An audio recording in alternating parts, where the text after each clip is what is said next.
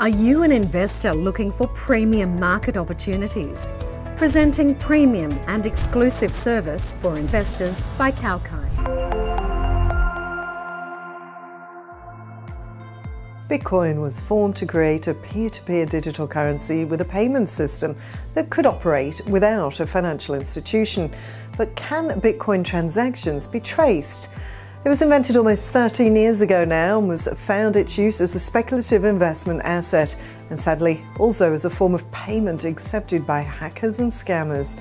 In the latter aspect, many assume that since Bitcoin only exists online, it can be easily moved without anyone knowing the identity of the transacting party. If the transaction is traceable to its roots, it might become possible to lift the veil and expose the actual sender and beneficiary. The most reliable source to understand the subject could be the white paper that contains the very fundamental idea of Bitcoin. The document is tilted heavily in favor of Bitcoin's use as electronic cash, with network timestamps to prevent any double spending.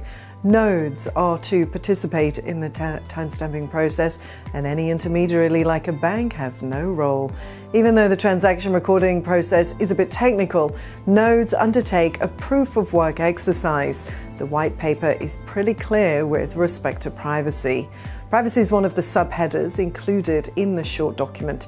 Many other cryptocurrency white papers are very exhaustive and it compares a Bitcoin transaction with deals on any stock exchange.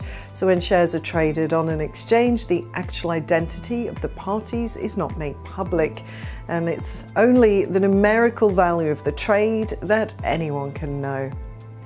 Satoshi Nakamoto's white paper claims Bitcoin's new privacy model is different from banks' traditional model because the former separate actual identities from publicly available information about the transaction.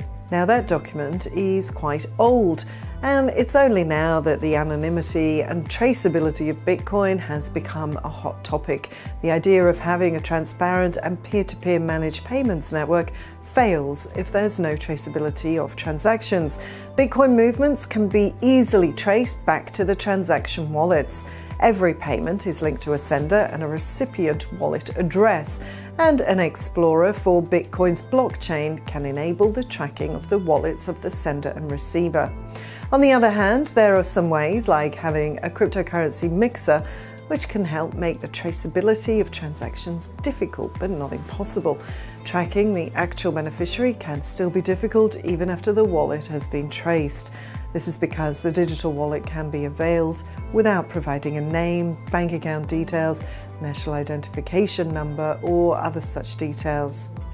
So, what do you think? Well, let us know your thoughts in the comments section. Don't forget to hit the like and subscribe button, and you can also press the bell notification button for our other videos. I'm Rachel for Kalkine Media.